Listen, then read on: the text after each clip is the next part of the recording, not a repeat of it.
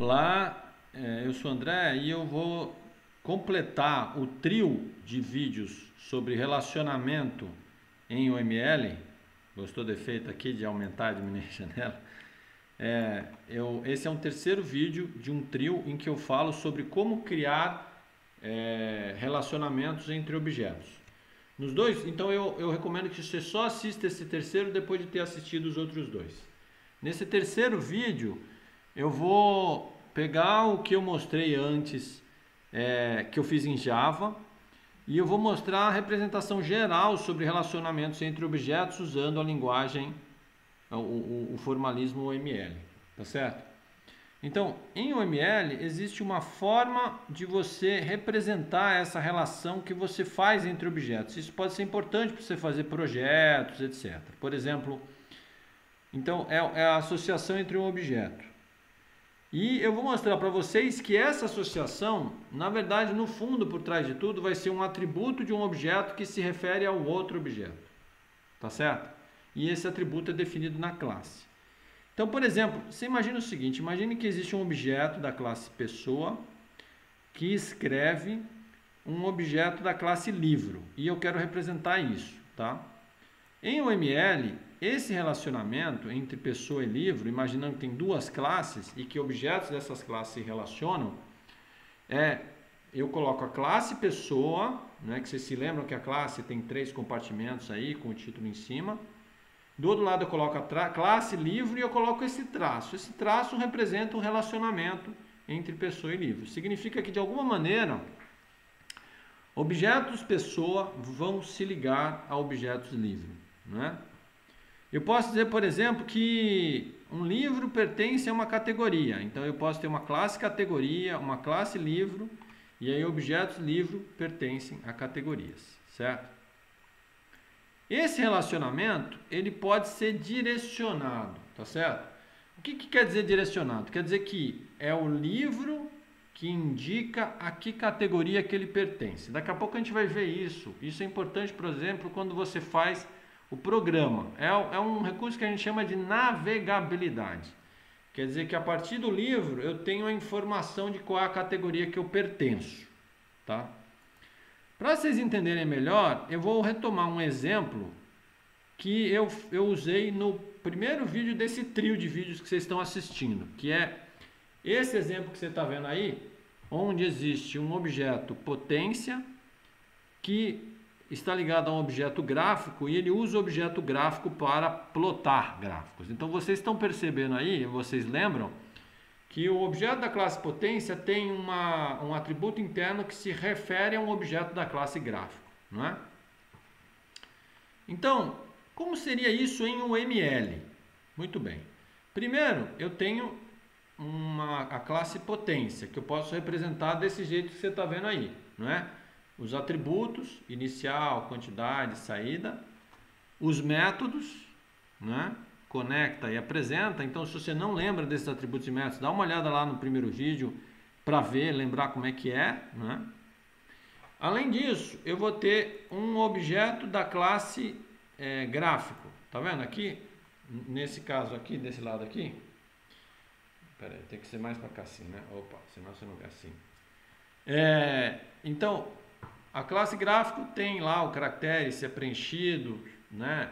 E, e, e qual é o caractere e o método plota. Bom, como é a potência que tem um ponteiro para o gráfico, em UML a gente representa desse jeito que você está vendo aí. Eu coloco essa, essa flecha de relacionamento e uso o termo que eu quiser. Por exemplo, para esse termo é o que identifica o relacionamento, né? Por exemplo, você lembra que tinha assim, é, pessoa escreve livro, então relacionamento identifica. Então aqui saída é, é o, o, nome do meu relacionamento porque a potência usa o gráfico como saída. Então eu usei isso. Por que a flechinha está indo da potência para o gráfico? Porque é a potência que tem a referência para o objeto gráfico, tá certo? Note que eu acho que eu pulei um slide aqui. É assim. Se você olhar o, objeto potência, nessa versão antes de eu botar flechinha, existia aqui o atributo saída. Eu coloquei ele como sendo o atributo saída da classe gráfico. Tá vendo?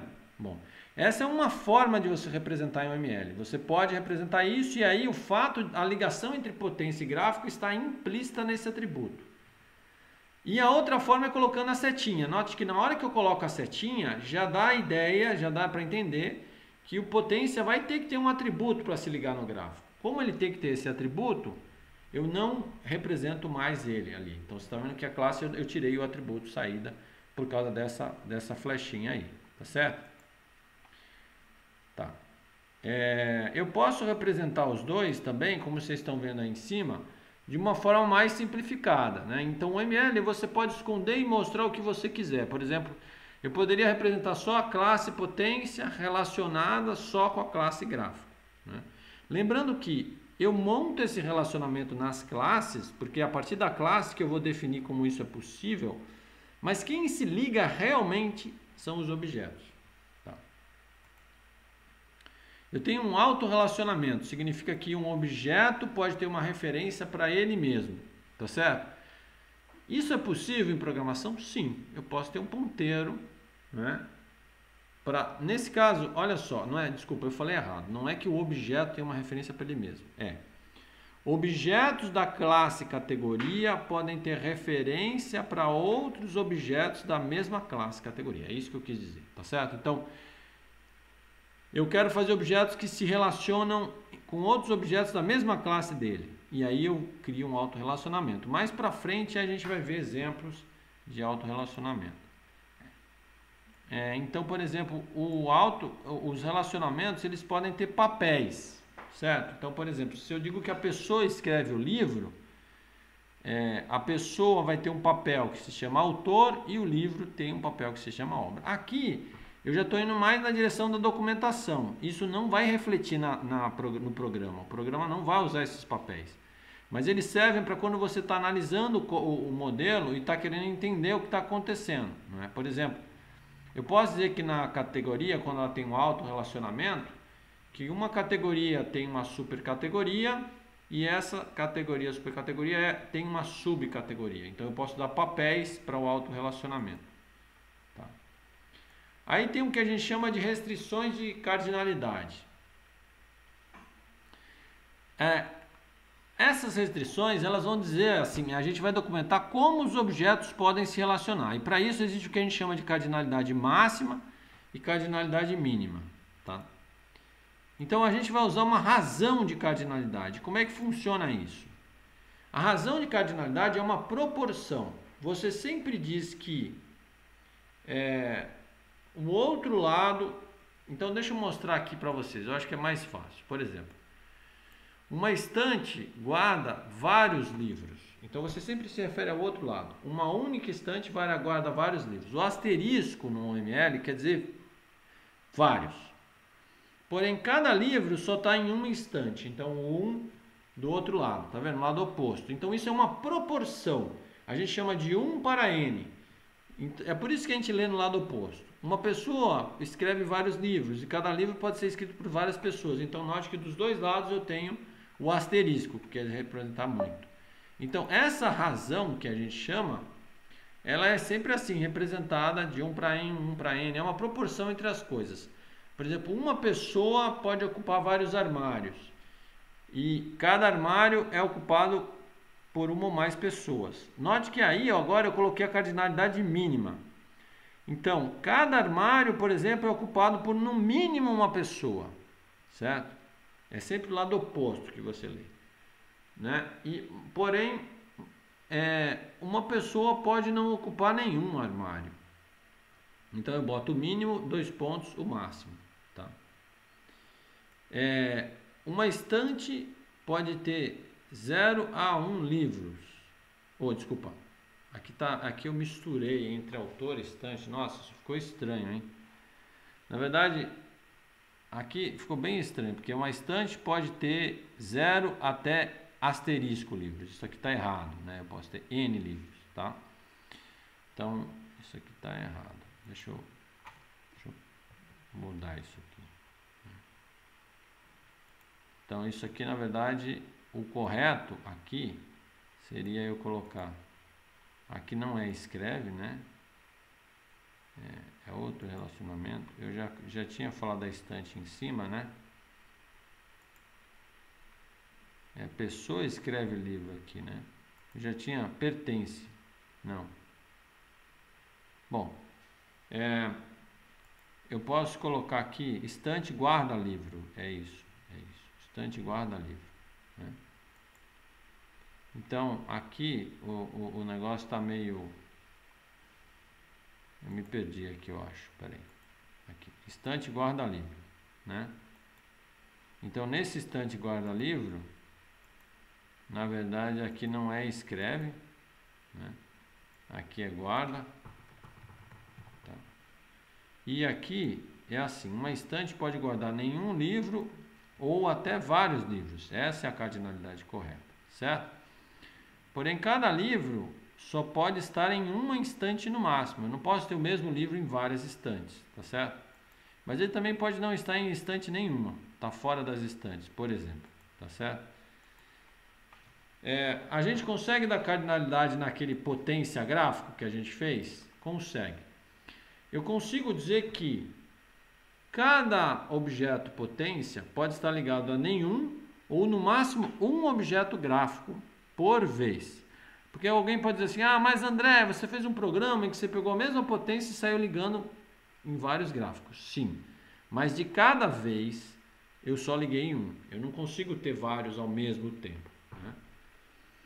Por outro lado, um gráfico pode ter várias potências ligadas a ele. Eu tenho potencialmente, eu posso criar vários objetos potência, é, potência e usar todos o mesmo gráfico para todos eles. Não tem restrição da forma que eu fiz o código. E note que nos dois casos a cardinalidade mínima é zero, porque pode ser que não haja essa ligação. Né? Vamos pegar aquele exercício que eu passei para vocês para casa do conjunto de empréstimos tá? Então, no conjunto de empréstimos, você pode dizer que tem duas formas de pensar o conjunto de empréstimos. Duas formas. Você pode pensar que um conjunto de empréstimo pode ter de zero a vários empréstimos, tá certo? E que cada empréstimo pode pertencer a vários conjuntos, a zero ou vários conjuntos de empréstimo. A outra forma de pensar o problema é que o empréstimo só pode pertencer a um conjunto de empréstimos. Então você teria que criar um mecanismo para que aquele empréstimo fique só vinculado a um conjunto de empréstimos. Uma das formas de fazer isso é criar um empréstimo dentro do objeto conjunto de empréstimos, que aí ele não compartilha esse objeto com outros objetos. Né? Aí eu garanto que cada empréstimo só vai estar ligado a um conjunto de empréstimos. Aí começa a surgir o conceito de agregação. O que é agregação? Agregação é, um, é uma construção semântica que diz assim: quando um objeto incorpora ou agrega vários outros objetos, a gente tem essa figura da agregação. E como é que funciona a figura da agregação? Eu tenho duas formas de fazer isso. Eu tenho esse losango branco, não é? Em que é, uma classe agrega outra classe não exclusivamente, quer dizer o seguinte: por exemplo, é, um livro guarda, uma estante guarda livros, tá certo? Tá? Então, é, o, o, uma das coisas importantes é o seguinte: se a estante deixar de existir, os livros continuam existindo, eles não vão deixar de existir. Então, o não exclusivamente significa que a, a estante não define o livro. Tá? Eu vou dar um outro exemplo antes desse. Esse é uma agregação que a gente chama de exclusiva, que é com esse losango preto, ou existencial. Quer dizer o seguinte: um capítulo é parte do livro. Significa que se o capítulo deixar de existir, ou se o livro deixar de existir, o capítulo deixa de existir. É por isso que o capítulo é parte do livro. Eu uso o losango preto. Tá? Vamos tentar aplicar isso no empréstimo. Eu posso dizer que o empréstimo, um conjunto de empréstimos agrega vários empréstimos. Eu vou usar o losango branco se o empréstimo ele for independente do conjunto. Então ele pode se agregar a vários conjuntos de empréstimo diferentes, tá certo? É, porém, se eu usar o losango preto, significa que cada empréstimo vai se agregar a um conjunto de empréstimos e se o conjunto deixar de existir, os empréstimos daquele conjunto também deixam. Então, nesse caso, se você implementasse de um jeito em que o conjunto de empréstimos tivesse dentro, ele mesmo criasse os empréstimos dentro dele. E aí na hora que ele deixa de existir, os objetos deixam de existir, então seria esse losango preto. Bom, tem outros exercícios interessantes que não são obrigatórios, que depois eu vou colocar eles organizados lá no notebook. São exercícios como esse do Zombie Health e outros, tá?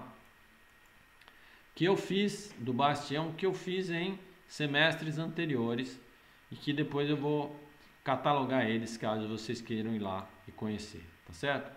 Muito obrigado e até a nossa próxima. Aqui eu termino o trio, né? de, de apresentações, das três apresentações de gravação e até nosso próximo vídeo.